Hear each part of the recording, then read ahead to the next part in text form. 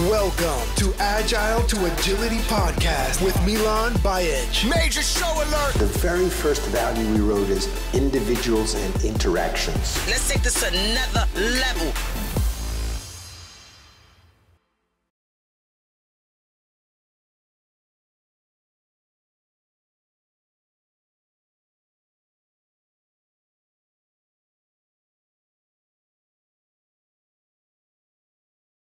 All right, let's get started. It's 1.15 Eastern. Um, thank you very much for those of you that joined. I know uh, you probably have other things and other priorities, but you decided to be here, so thank you. Um, for this session, we have Geoff Watts, Stephanie Ockerman, Ockerman, and Ryan Ripley um, to just talk about uh, some of the questions that you might have for them, some of the questions I might have for them, and uh, um, I don't know, maybe Stephanie, we can start with you, Ryan, and then Geoff. Uh, just maybe quickly introduce yourself, maybe just quick 30 second intros if you want. Uh, you can also pass, it's totally up to you, or just uh, tell us a little maybe about yourself, maybe currently what you're working on or anything, uh, and uh, we'll dive into after that.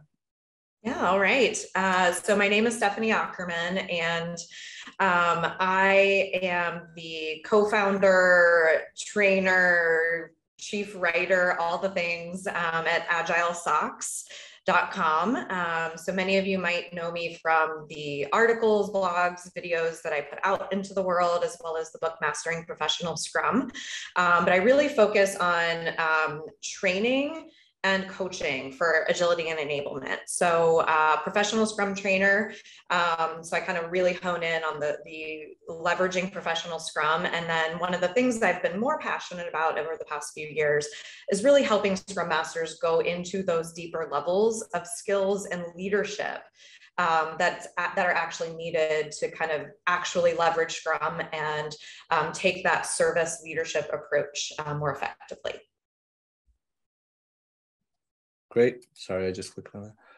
Um, Ryan, I think I said you go next, and then. Sure. Yeah. So uh, thanks for having me. This is uh, it's really neat to get to be on a panel with Stephanie and Geoff, probably two of my favorite agilists aside from Todd.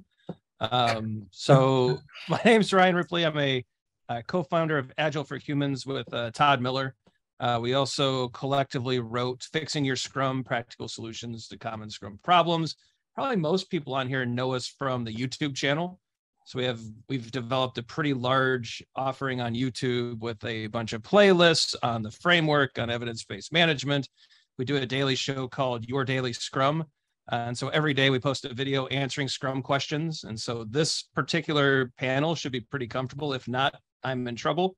Um, but uh, also a professional Scrum trainer like Stephanie with scrum.org. And so we both teach a lot of the courses uh, that are in the catalog with scrum.org. And we are both committed to Ken's vision and mission and uh, try to put good work into the world. She's amazing on the coaching side, and my focus is more on the um, management leadership uh, side. Unfortunately, Todd, my business partner and fellow professional scrum trainer, is more on the product owner side. And so between a lot of us, we cover a lot of bases and um, just try to put a lot of good work into the world and work with great people like Stephanie and Geoff and others. And um, just try to have a little fun along the way too. Great. Thank you, Ryan and Geoff. Yeah, Geoff Watts, based in the UK. Um, I'm not a professional Scrum trainer.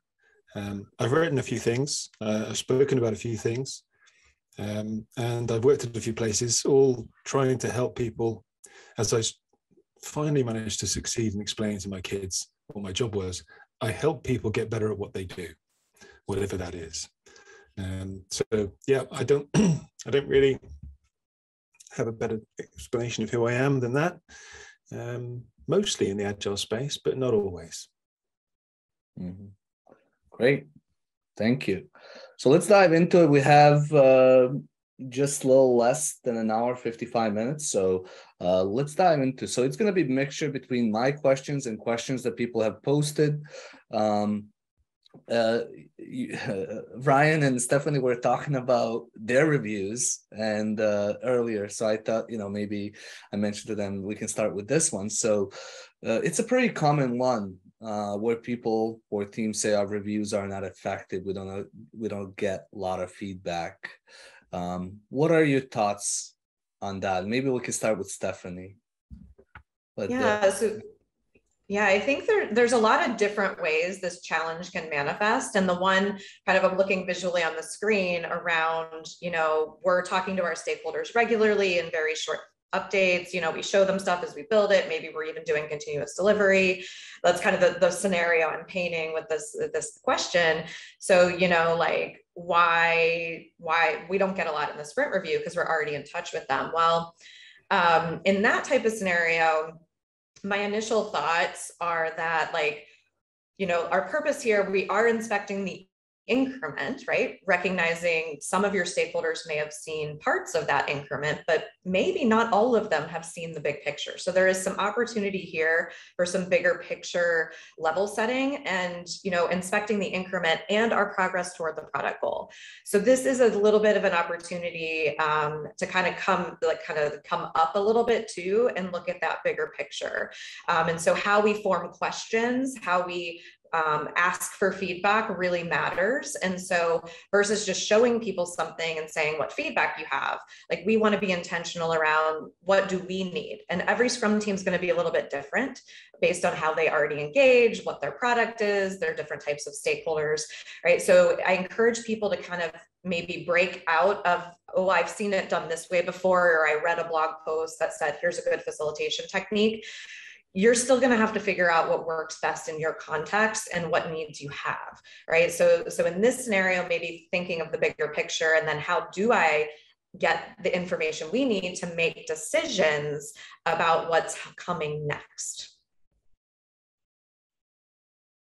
Yeah i think stephanie's focus on the increment and then the actions to take it's really good right? I, I think delivery and then focused on the the end uh, increment to, or the one of the increments there could be many in a sprint is really smart. I just have a lot of questions based off of this question right?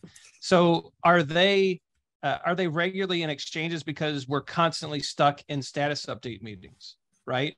And are we is our calendar full of we're, we're going to talk to these two stakeholders and those two stakeholders? Mike i think a big question here would be if you were to sit all the stakeholders to, down together would they give a consistent, coherent um, narrative about how the product's going and the feedback and and the the value being delivered? And an assumption I would make here is the answer would be no.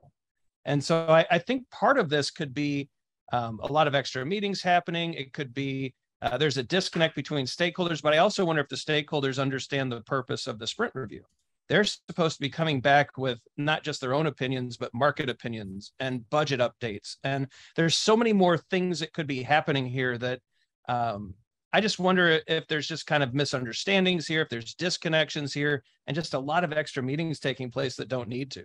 So on top of stephanie's great response of focus on the increment focus on delivery um, i think there's some really good questions to ask here as well. Also i mean like do you have the right people? A lot of times yeah. the right people are not you know there. So uh, Geoff, Absolutely. what are you? What are your thoughts on this? So I'm I'm tempted to answer around the question. because there's there's lots of different things. It could be around safety. It could be around is the feedback. Are we actually any good at giving good feedback and so on? But that's not that's not the context of this question. So I think the main context of the question has been covered. The one aspect that I think I'd probably pull out is you have the opportunity here. Uh, if you're not going to well, first of all, it's just thinking about maybe we cancel the 15 minutes. I think you'd probably keep that if that's working. If that's making the review ineffective, you keep that and, and lose the review. You know, we don't have to stick to everything. But before you do, think about how you might be able to use that differently. So maybe those stakeholders don't need to come to the review that have been speaking to you every day, but other stakeholders do. Um, maybe those stakeholders come, but instead of looking backwards, you use the sprint review to look forwards, which I know sounds paradoxical given the word review, but you know, a good part of that is thinking, well, where's this product going next? Um, so you could reuse the review for a different purpose or with different stakeholders.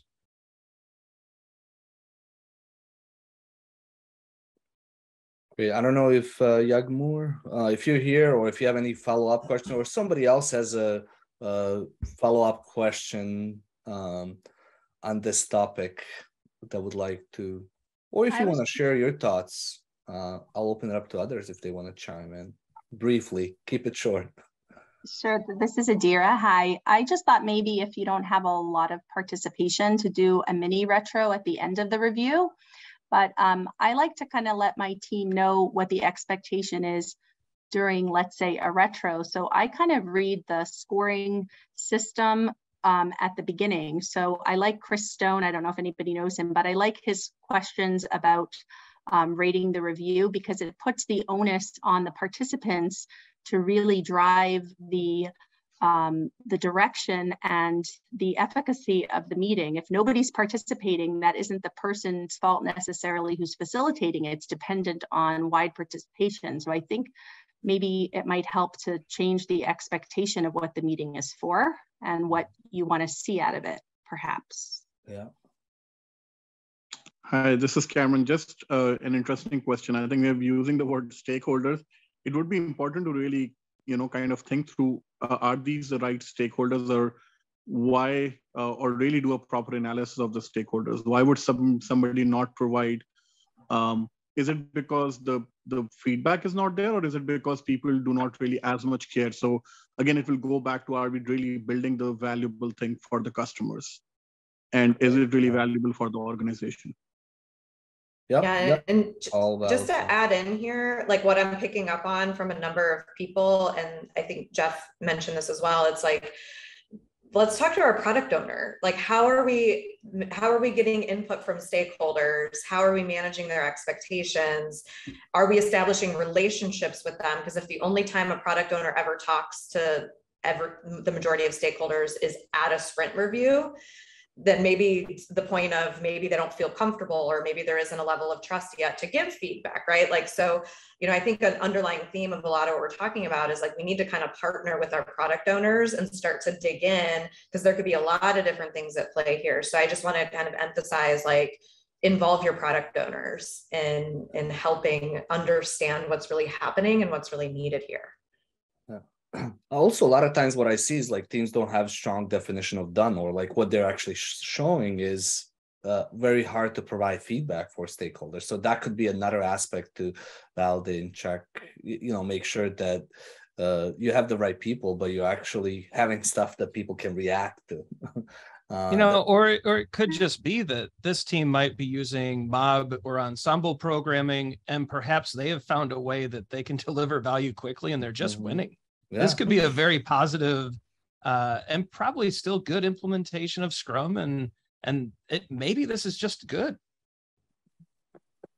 Hi, Could this be, is uh, Jenny. I noticed the last sentence said, "T- since two week sprints is too much, too long to wait for feedback. Would a one week sprint work? And then you just have a weekly sprint review?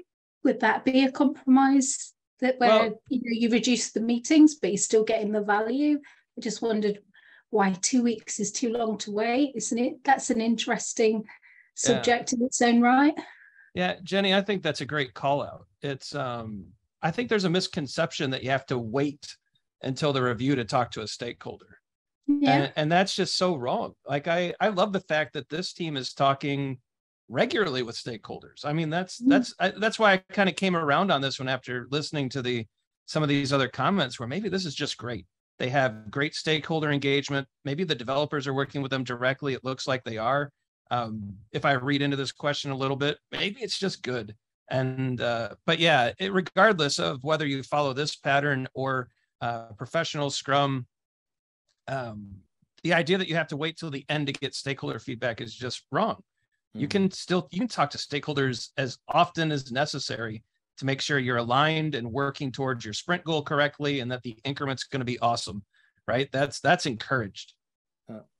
Great. Um, so Geoff, uh, would you like to comment on this? I know Marco and Anna want to um, uh, ask questions, so we'll go Geoff, uh, Marco, Anna, and then we'll move on to the next question.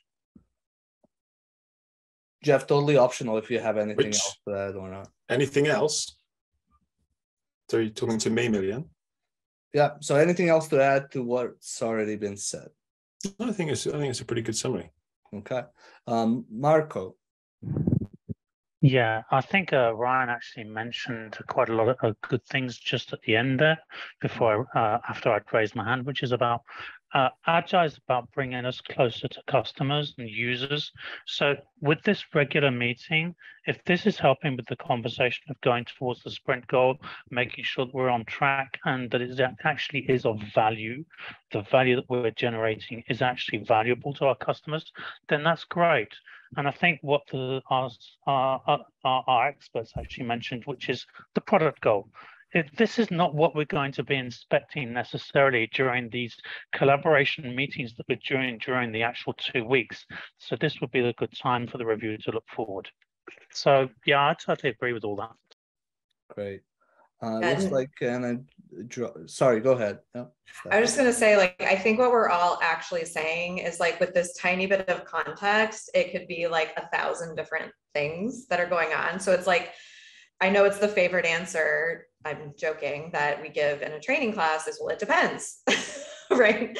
And so it's like, these are like, there's so many great divergent kind of like, hey, it could be this, it could be that, it could be that. And it's like, you need to be like a scientist in your world, right? And like start uncovering, like start observing, looking for those signs because there are likely more than one challenge going on here, right? And so it's like, where are we? Where do we want to go? And then running little experiments to see if your assumptions are correct and if you're moving towards solving the actual underlying challenges that you're noticing um, so just kind of like a, that's that's the that's the vibe i'm getting from like all these great ideas and answers and including the things that people are posting in the chat like lots of good stuff here be the scientist and start creating more transparency and running experiments mm-hmm. Great, Tim. I don't know. I just saw you raise your hand. If you want to keep it short, but just uh, to give you yeah, just just real short here, and and just going back to something what Ryan's saying guys, remember one of one of the key things, key tenets of, of Scrum and Agile is continual feedback. Continual feedback doesn't mean waiting for the meeting. It means continual feedback. It means as soon as I have something, I need to go either to my engineer, my PO, or my product manager. So yeah, let's just remember that, you know, the ceremonies are the beginning of the conversation, not the end of it. Yeah. Great, great point. All right, uh, let's move on to the next question, which is related to this one here. Uh, what are some of the tools Scrum Master can use? I would like to maybe open this up, or you know, what are some of the things the Scrum Master should have in their toolbox? So, for instance, if you think about some of the essentials from your perspectives when you're looking at you know maybe hiring or if you're helping uh, people hire scrum masters what what would you consider the essential skills tools that uh, the Scrum Master should have in their toolbox?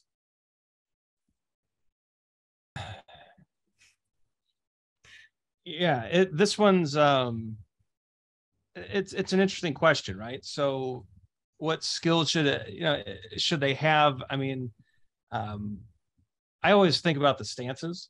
Mm-hmm. You know, we're when the Scrum Master role or accountability um, is such a hard thing to to describe because we're expecting this person uh, to be an excellent facilitator, an excellent coach, a mentor, a trainer, a teacher, um, a manager in a sense, or, or maybe a process manager, right? We're expecting them to be excellent with Scrum, but now the the game has shifted a little bit. They need to have a solid grasp of Kanban, flow metrics, uh, lean thinking. And so we've turned this this set of accountabilities like we need all of these skills and there are people in this world who work as facilitators full time and who work as coaches full time and who work as uh, trainers and teachers. And we've put all of these things t- together and said oh and by the way you need to be a great communicator a great collaborator. You need to speak well. You need to be humble. You can't make this about yourself. We need you to put other people first uh, we need you to have a servant uh, leadership mindset. We need you to have a caring heart for and a heart for others. We need you to also be aggressive and assertive when needed to remove impediments. We need you to understand what an impediment is. We need you to work on the organization. We need you to understand how to work with managers and leaders, but also you need to be able to talk to everyone from the janitor to the CEO perfectly. And so to to just you know, and and so it's no surprise that on LinkedIn and other sites the job descriptions are ridiculous um, and that scrum masters are constantly trying to figure out their place in an organization and so you know, what is the right list? We need a person who's willing to step into that insanely uncomfortable space, who thrives in complexity, who loves people, and who wants their teams to be wildly successful. And if we can get that, I believe that people like Geoff and Stephanie and myself can teach Scrum, we can teach flow metrics, we can teach Kanban, we can teach this, the, the skills, but we need that person. And so what I'm saying something un, un, unpopular here. Not everyone can do this, right? And so, and it's really hard to explain what this is, right? Maybe Stephanie and, and Geoff can clean it up for me, but it's a lot. Yeah. Well, and what this is reminding me of, Ryan, is actually one of the uh, fixing your coaching, I think, episodes we recorded. Yeah. Um, and so maybe we'll send that link to be sent out. But I and I and I also want to say, like when I read Geoff's book, you know, I, I think read Geoff's book, right? Um, as well. It's like it's not so much about i know x number of agile practices and facilitation techniques. It uh, you know because it's about how you leverage like making choices about what techniques and processes and tools to leverage when and also recognizing that you don't have to have all the answers. So i you know when i'm looking for somebody like as a scrum master it's around like who they are as a person and how they like approach complexity and their comfort level in complexity and unpredictability and understanding of humans and team dynamics.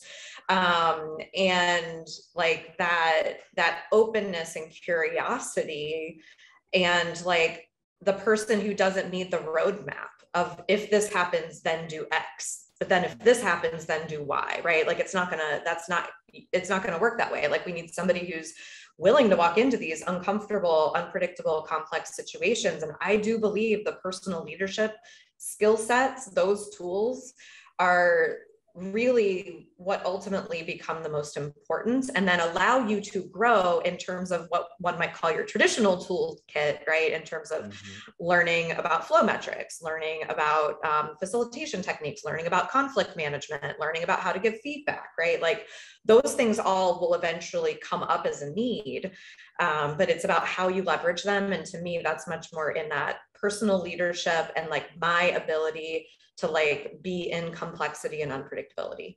Yeah i mean even though you're not both uh, i guess uh, you know ryan alluded to it you're talking about it you we're not you're not saying like specific skills but a lot of like you know under having you know high level of self-awareness like understanding where your blind spots are like you know you, you refer to it maybe i call it like inner development but there's still these are the things that you're still looking at. They're not just maybe more tangible but those i would still consider it, you know when i'm looking at somebody like you know how well like some people run away from uncertainty. Some people understand that you can't really you just got to deal with it right?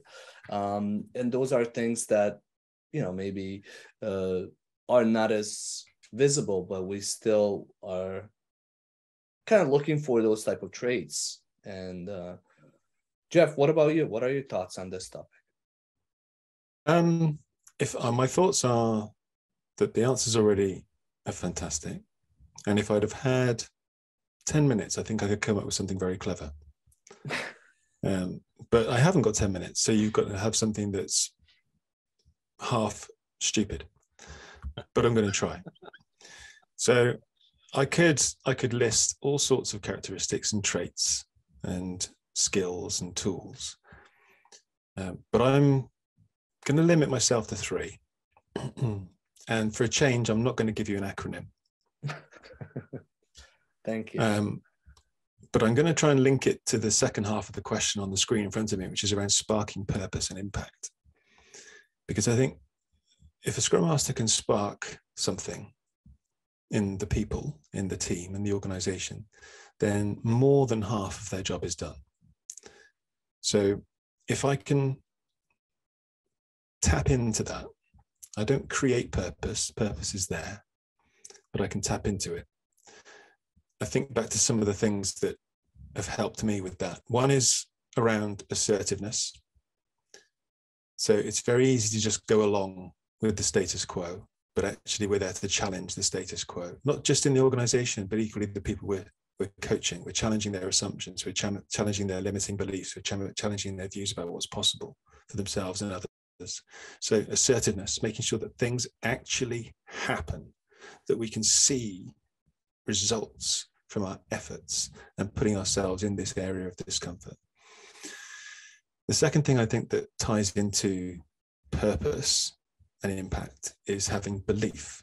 Now, you could call this continuous positive regard or something else, but basically, genuinely having a positive belief in the intentions and the capacity of people within the organization and the organization itself. It's very easy to look at something and think, oh, this is just another example of why things just aren't ever going to work around here. Or what was that person thinking? Or this policy, this process is such a pain in the backside. Whoever thought this must be an idiot.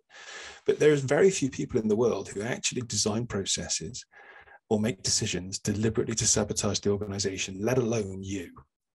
So choosing to believe that people have good intentions, choosing to believe that people have the capacity to change, to do good things, I think is an essential part of doing that. And the third thing, which is probably the one thing I've had to learn the most over the years, is calm.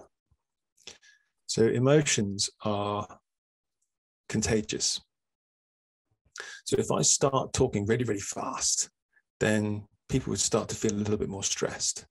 But if I speak calmly and slowly, people generally start falling asleep. And this is my intention. And you won't worry about what I'm saying. All right. So I can have an impact on those around me. And it's very easy, like I said, to think, to notice all the things that aren't working and things that aren't changing. But having patience while also being assertive, staying calm when things are going difficult or challenging. Uh, we're dealing with those tricky problems and we're dealing with conflict and we're dealing with everybody's biases and all these kinds of things. But staying calm will radiate that calmness throughout the organization. And we are generally more resourceful as individuals and therefore as an organization when we are calm. So it's not an acronym, but it's an ABC assertiveness, bravery, and calm. How about that? Great. Uh, I, I, think that the responses are wonderful. Um, what's making me think is that that's not the general perception out there. Um, What's not and, calm? um, all of those uh, in general like yeah all of all of those but calm uh, isn't calm isn't newsworthy i'm not just talking yeah. about the media here yeah. in terms of grabbing attention urgency grabs mm-hmm. attention yeah yeah so it's like um like i love what you did there geoff is like you know you took the kind of the big picture stuff and like made it a little bit more tangible. Um, and, and and like this culture of urgency this culture of escalation this culture of like you know like I, a lot of times i ask myself first but then i ask other people like what's the actual worst that could happen right now? Like you know it so there's a self check i think involved in helping you be calm as a scrum master and like helping you help others right? Like then how do i leverage facilitation skills coaching skills right to then help others move through whatever we're moving through right now and make intentional choices based on what the reality is versus something that's like but we have to just get everything done and that's our reality. It's like no that's not the reality. Exactly. Yeah.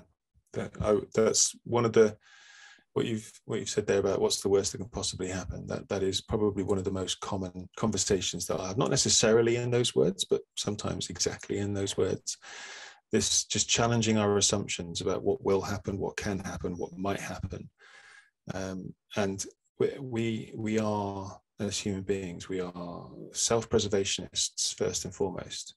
And it's not necessarily about our life or our physical well-being at work usually.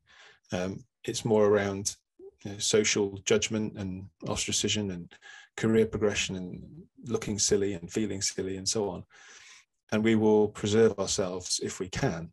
So thinking these things through and actually what what what do I and what am I worried that might actually happen here? Is that logical? Could I plan against that? Could I recover against that? Could I put something in place to help me recover from it and so on?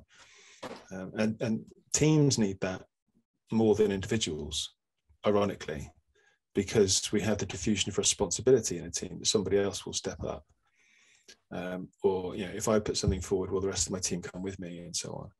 So we, as this is where I would come back to that assertiveness as a scrum master. Sometimes saying it's going to be okay if you take action, if you step up, if you start managing yourselves, is all well and good. But until that, until someone actually sees evidence that somebody goes out of the comfort zone and doesn't get punished, they won't they won't feel comfortable. Mm-hmm. You know, there's a, a really good book. Uh, there's always a book, but if you're uncomfortable with this idea of what's the worst that could happen, I think Stephanie's brought up a really good question there. Um, there's a very, very, very old book uh, called Letters uh, from a Stoic by Seneca. And I think it's such an important read if this is an uncomfortable concept for you. So Seneca would actually uh, practice poverty uh, every so often. He would make himself insanely poor and live on the street and realize that this practice was that uh, if he were to lose everything, he would still be here and he would still be alive. And it, and it gave him the freedom to try things. So, Letters from a Stoic, it was actually written, I think, in 50 AD. So it's very, very old book. Um, but uh, I think it's excellent. It's just a really wonderful. If that concept is interesting to you, Letters from a Stoic by Seneca is wonderful. Great. Thank you.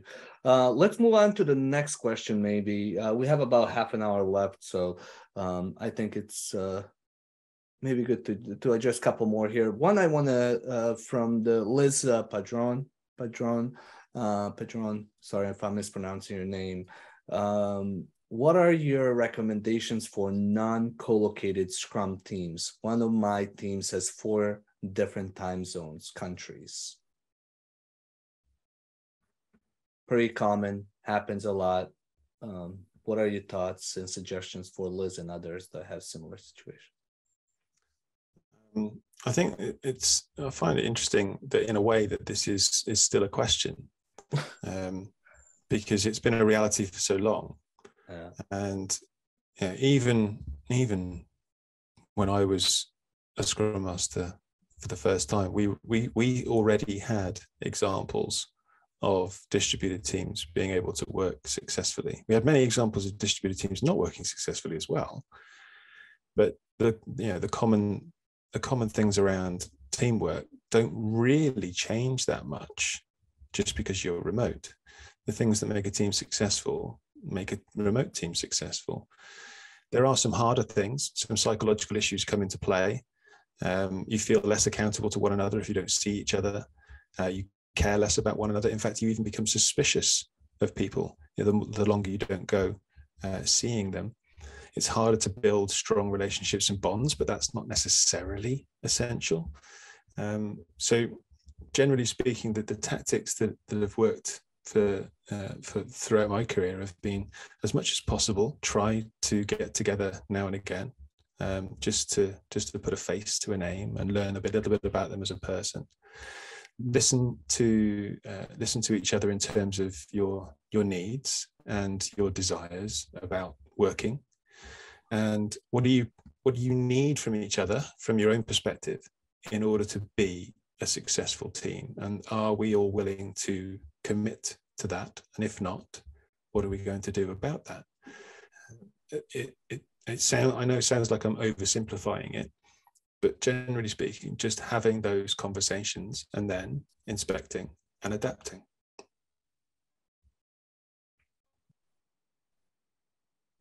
Yeah, and um, there's one other thing I'd like to throw out there because it's I just uh, scheduled a newsletter that's going out tomorrow, and this is actually in it.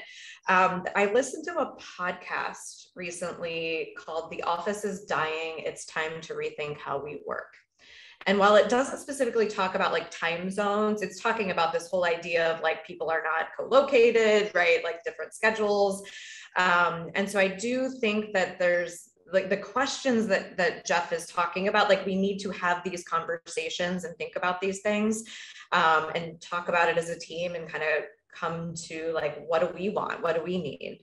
And you know the podcast is long. Like it's in depth it's based on you know research from the last two and a half years of this grand experiment um, that there's a lot of like tangible questions i think that that can help you have these conversations and i would also say like how the organization needs to actually set people up for success So it's like, yes, there's a team level of this.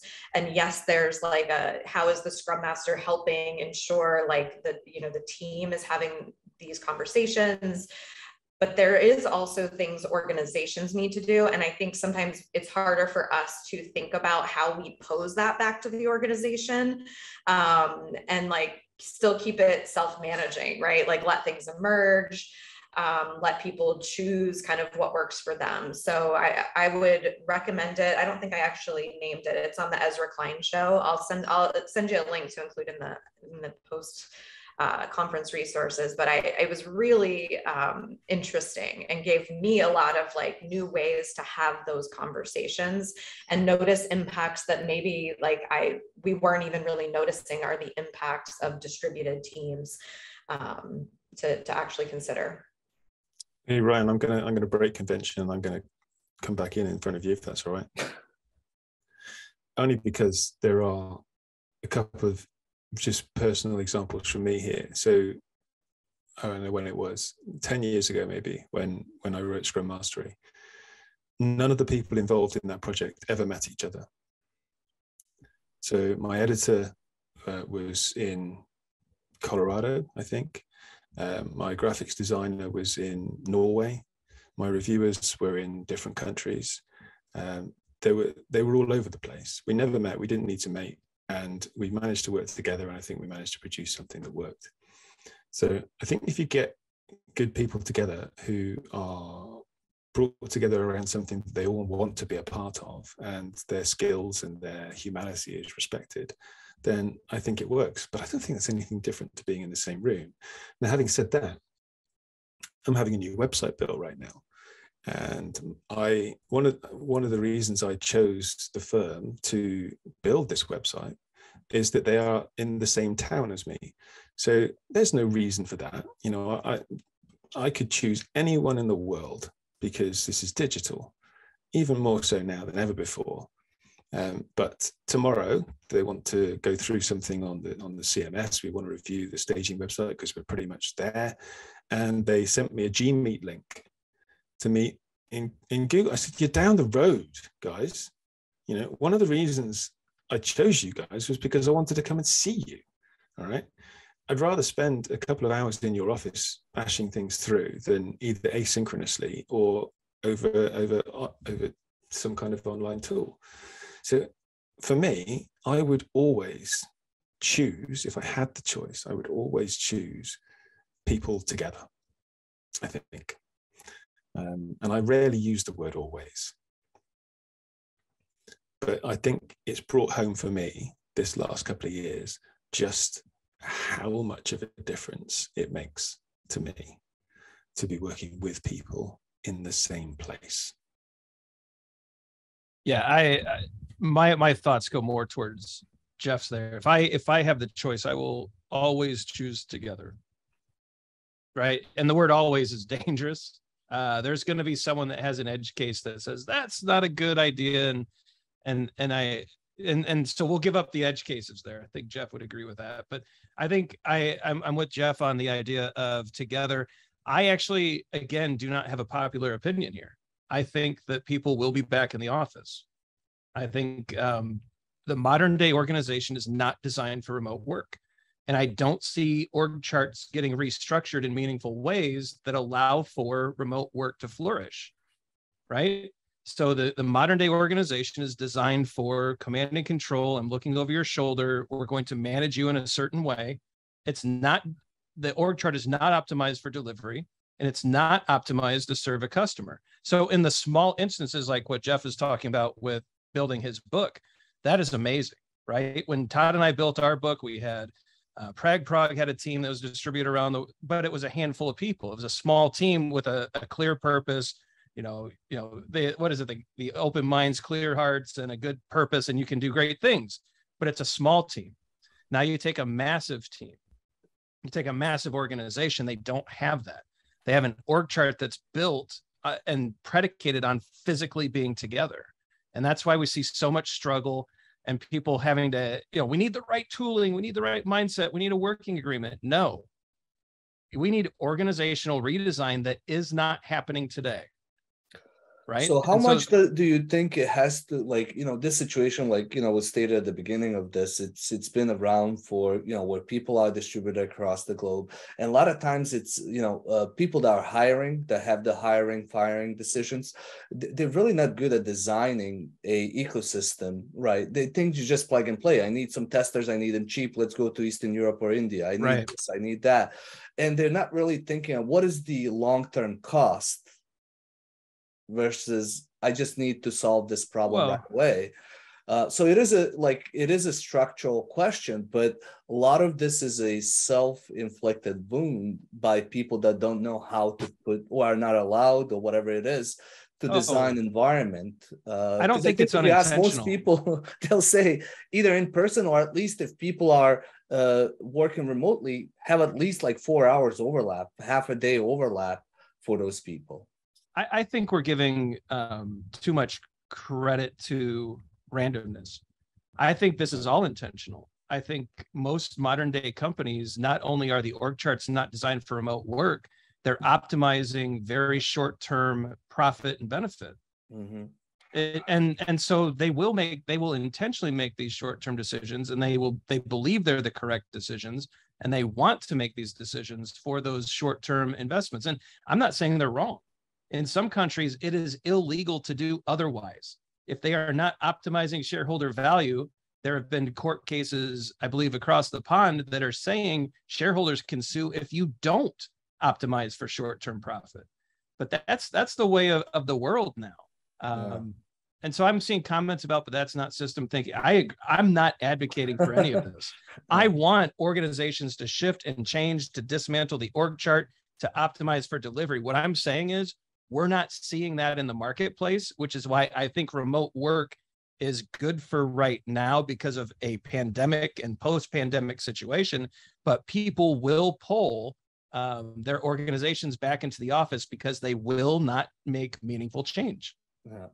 Essentially, you're saying well, it's tough to let go of that, uh, you know, control. So, like, we'll pull back people because of that desire to control, to to, um, the, yeah the illusion of control really Yeah. right? And to so, so ryan talking about like you know actually optimizing for delivery like i just want to name this like he doesn't just mean like efficiency right and getting product out the door. Like we're talking about how people do their best work together and and i'll just say like i've seen rock star teams that are fully remote and distributed across multiple time zones and i've seen terrible co-located teams like all working together in a room.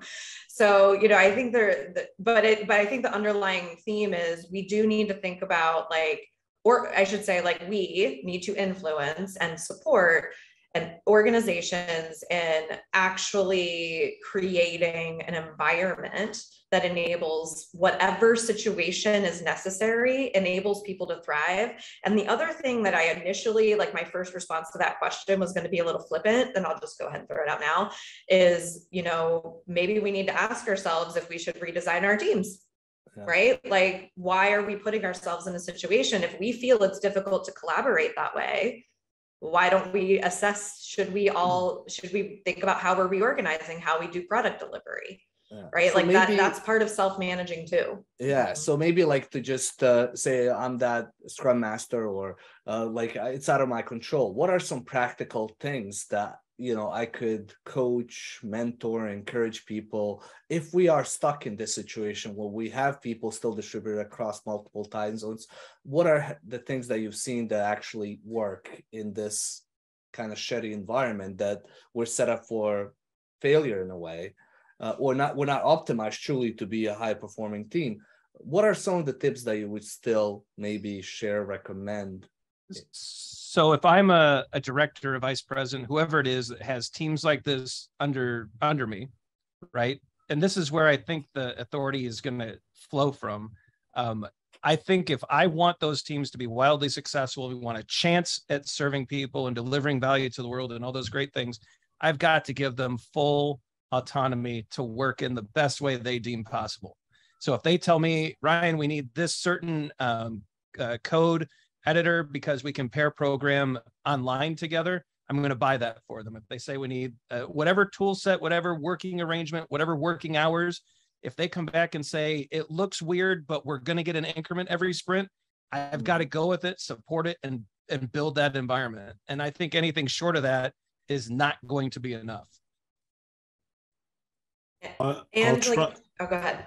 I, I, I was going to try and bring in another question that I saw in the chat and I've tried to hold on to from Roland, which he prefaced with, I don't want to be funny, um, which I think if Ryan was saying, he'd say, this is an unpopular opinion, which is that, uh, I'll paraphrase you here, Roland, but basically developers aren't necessarily known to be the most um, extroverted.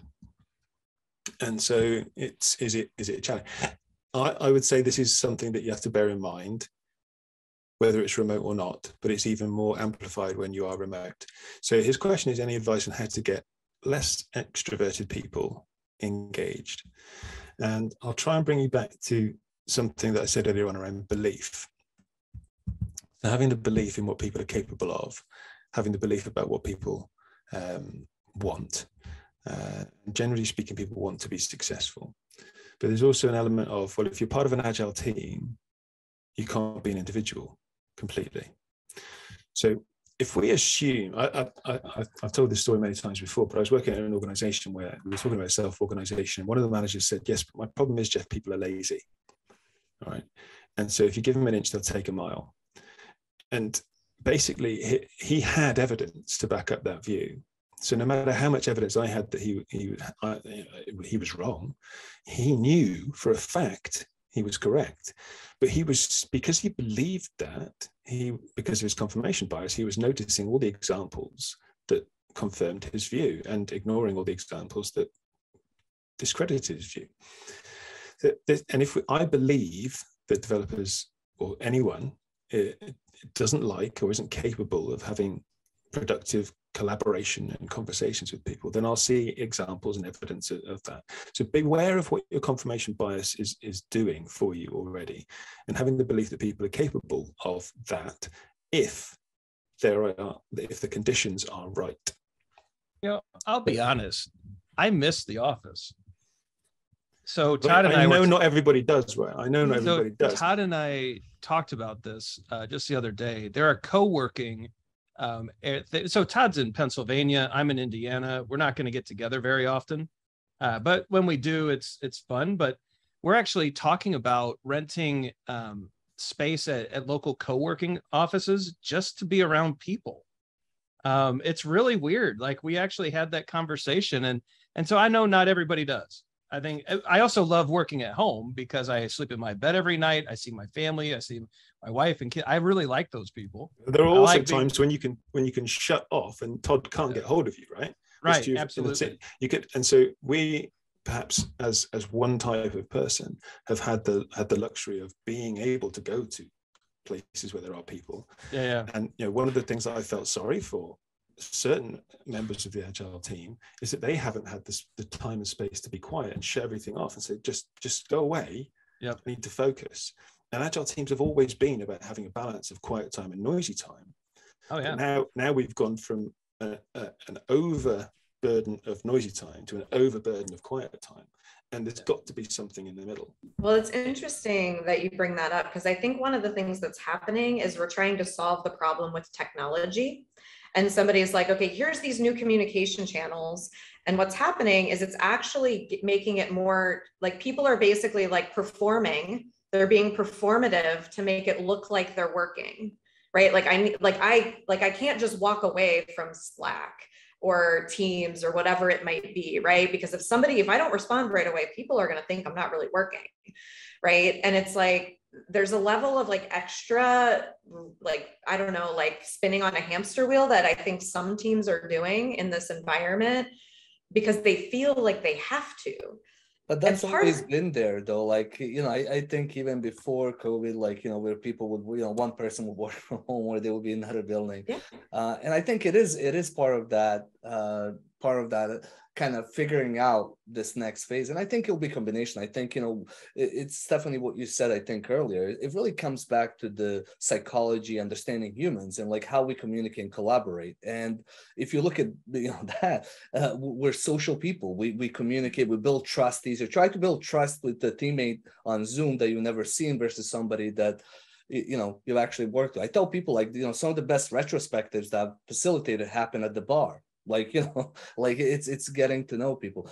Uh, maybe we have a chance for one more uh, question but tim maybe i'll give you another chance just to uh, uh add comment or ask a quick question and then we'll move on move on maybe to our last question yeah, yeah i don't i don't know if this is really an easy one because we're, we're talking around things. We're talking you know great points from the panel but really what we're faced with is there's an inertia in the industry that doesn't want to do agile or doesn't understand agile.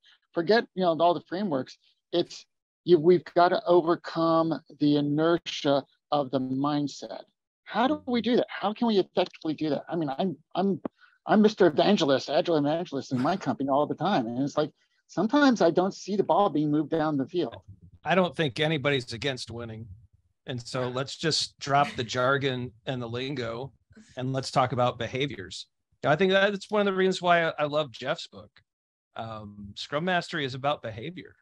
I mean, it, it's it, it just beautifully describes the behaviors that you see for for great Scrum Masters, and I think we need to um, embrace that and just say, hey, we're gonna we're gonna build some stuff for a while after we build this kind of plan for what we're gonna do for a few weeks, and then we're to show it to people and we're to build some alignment there and make sure that we're meeting their needs. And we're to repeat that for a little bit. And we're also to check in with each other to make sure we're working in a way that we all love and there's joy and there's success.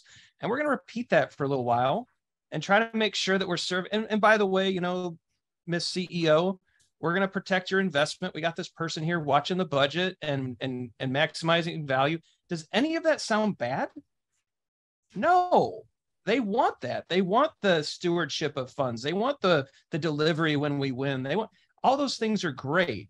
But then the jargon comes in and there's baggage assigned to every word now. Agile has baggage, Scrum has a ton of baggage. No one knows what the heck a Scrum Master is at the C level. Product owner, wait, isn't that product manager? Oh, I don't know. Uh, what the heck's a daily Scrum and why hmm. can't I attend it? it? The list goes on and on. So get just drop it. Talk about behavior and then go do it. It's like behavior it and benefits, right? So it's like, and know who your audience is. So, like, to your point, if you're talking to C level, like, what do they care about? Their investments, right? So, talking about like, well, you know, we're trying to kind of take this approach because we know that our market changes really fast.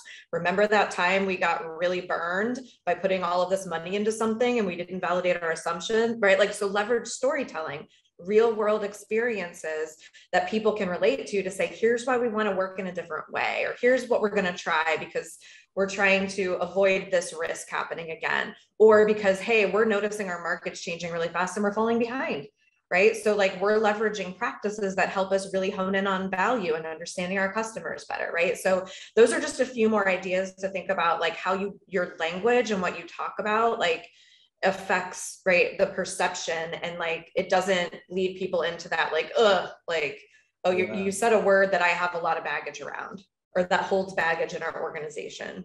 Yeah yeah that reminded me also like it's not just behaviors like i i recently read michael Spayd's. I put the link in the chat uh, agile transformation book which where he looks at behaviors systems like organizational structures culture and mindset and you know in, a way it's an integral approach to uh, to change right? So it, uh, there's there's a lot more at play than just behaviors but behaviors are one of the key things that we're actually ultimately changing.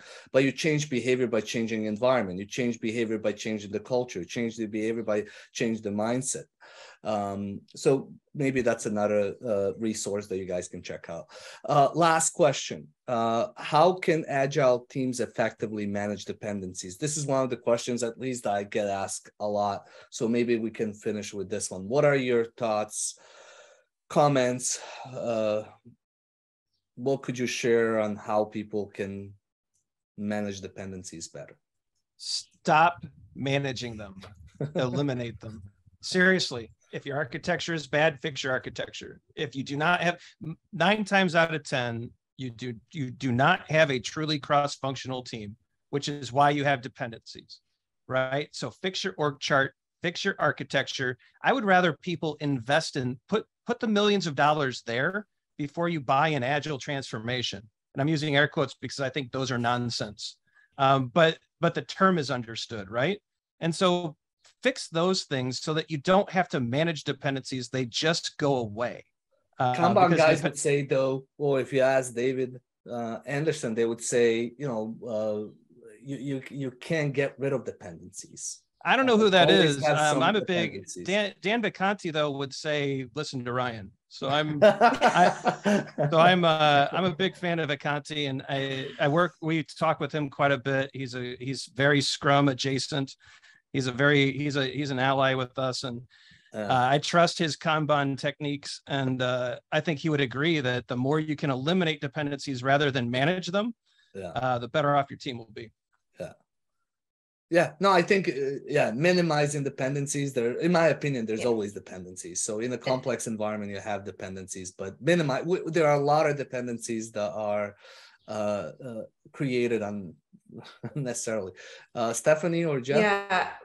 I was just going to add to that, like the the mic drop answer same as what ryan said right? Like yeah. don't just manage them don't just assume you have to live with them right? Like do what you can to eliminate and or minimize the impact. This doesn't have to be like a big bang solution to every dependency you have right? So make the the dependency transparent both in terms of things like um, you know the the cost of it right? Maybe there's a cost of delay to get something to a customer maybe it's the cost of rework um, right? Like maybe there's an actual you know like tangible dollar impact you can create from that right? So what's the impact of living with this dependency? How frequently does this dependency affect us? And that could be like a 10x multiplier right? When you actually so it's like about transparency really right? So i always say like scrum master's number one tool is transparency how do I make, create more transparency to what's really happening and create a compelling case and get the people involved, right? Have the right conversations with the right people. And you need transparency to the data,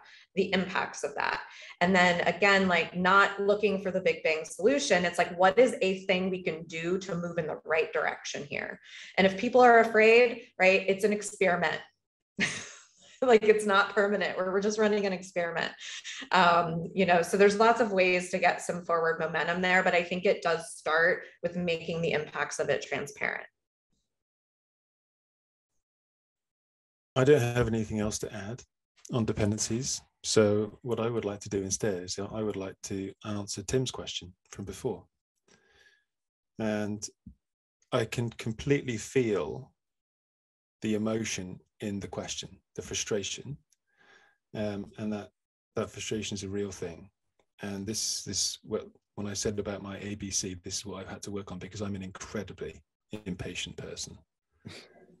Unfortunately, we are in a very slow moving, in one way, world. Even though the world is moving very, very fast, change still takes time. And it's a, it, there's an analogy of boiling a frog that if you throw a, a, frog into a pan of boiling water, it will jump out straight away. But if you put a frog in a pan of room temperature water and boil it slowly, it will just sit there and die because it doesn't notice the small changes. And we don't notice the small changes that we're seeing on a regular basis because we're in the middle of it.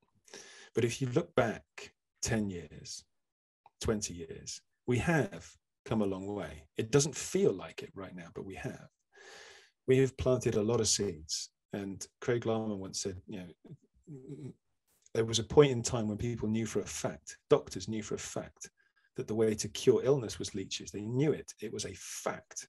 And even with the advent of penicillin and drugs and all that kind of stuff, those those doctors held on to their beliefs. It took that whole generation of doctors to die out before the new truth was universally accepted. And I'm not saying we need to wait for these people to die off, but what I'm seeing is I'm seeing a shift in demographics at the senior level.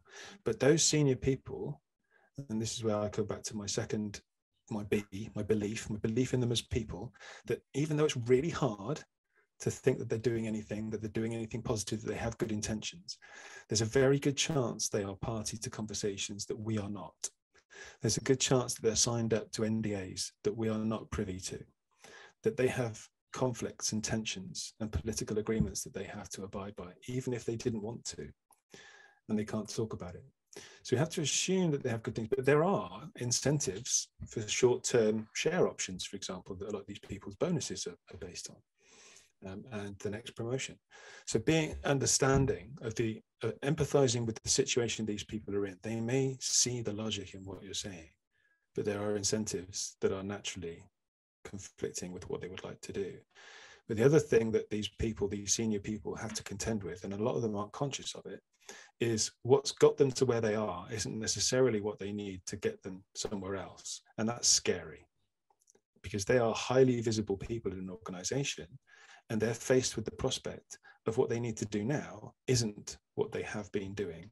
They need different skills and they don't know how to add value anymore if they're not there making decisions and telling people what to do. It's a very scary place for them and they're not used to being vulnerable. So empathize with those people. Um, I know you use the word evangelist, and I know you don't mean it like an evangelist, but think about the messages that we're putting out there. Are we, at some level, trying to convince other people that we have a better answer? Because if we are, even implicitly, we're making it harder for ourselves because those people then have to admit that we were right and they were wrong. They have to climb down from their previously held view of the world and take on somebody else's. And nobody likes to do that, let alone someone in seniority. So, as Ryan said, talk about behaviors, talk about benefits, tie it into their objectives, their motivations, their goals, their drivers, make it their idea, not the process, but the outcome. And then we've got a chance. Great, uh, thank you. great suggestion. I think it, it, it's again that shift maybe that, that, that we're looking for. Maybe you know you call it a shift, maybe it's a paradigm shift, but it takes time. And you know I've talked to a lot of thought leaders, and they said we made a lot of progress in the last twenty years. We want it overnight, but you know agile is still young, or this movement is still young. Um, what would you like to share as final thoughts uh, with 400 or so people here? Maybe just keep it short, but your final final go easy on yourself. Go easy on yourself. Go easy on each other. But keep pushing yourself and keep pushing each other. Yeah i i i echo that. You know this is something that um todd and i and i know geoff and stephanie i think they're a little younger than me but maybe not. Um we've been thinking about this stuff for the past 20 25 years and we still mess it up like I still mess up as a scrum master. I still don't know everything. I still um I mean I wrote a book called Fixing Your Scrum and I'm not sure how to fix everyone's practices.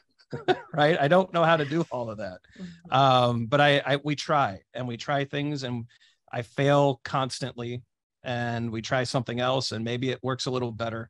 And anyone promising the the right true way, the one true way, walk away quickly um, or run but just yeah i like that geoff. Take it easy on yourself. We're all still learning. We're all still trying things. And the fact that you're willing to try something after one thing didn't work is awesome. Uh, failure to adapt is i think the number one killer of organizations and teams. So mm-hmm. keep trying things keep changing. Uh, you know to geoff's point you know make it about outcomes and how these things help other people and you might have a chance of of getting these things to work. So yeah, I like that. It's a good. That's a good key thought there, Geoff. Yeah, and just to kind of remind us, right? Like we're in this really weird role where we are accountable, right? Like we are our success is measured by the growth and success of others and outcomes that are literally beyond our control like i mean for re- like really think about what that means and so to me like everything we're talking about here is like let go of control. And I have layers and layers and layers of control. Like I strip one thing away and then I'm like, oh, there's me trying to control things and think I know the answer and, you know, feel compelled to have a perfect plan and get it right. And so again, this is why it's like this kind of constant, like, how am I showing up right now? Where am I still kind of even myself bringing in like these mindsets that are no longer serving me and the team and the organization? So it's like we are a constant growth work in progress as well. And so give your like don't take yourself too seriously. This is really hard. Um, and just you know, it's it's about recovery. It's all about recovery. Notice and recover.